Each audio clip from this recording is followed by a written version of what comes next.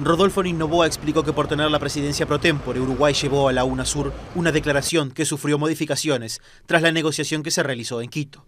El canciller considera que la postura final fue equilibrada.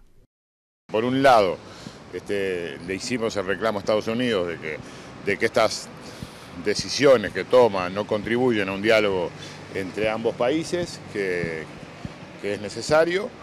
Y por otro lado, este, también manifestamos de alguna manera nuestra preocupación por los derechos humanos, porque si nosotros hacemos una declaración en la cual se dice, como se dice, este, que eh, apoyamos y exhortamos al diálogo, al más amplio diálogo político entre todas las fuerzas políticas venezolanas, este, en el marco de la institucionalidad, del respeto y de la salvaguarda de los derechos humanos, es porque creemos que ahí hay un problema de derechos humanos, obviamente.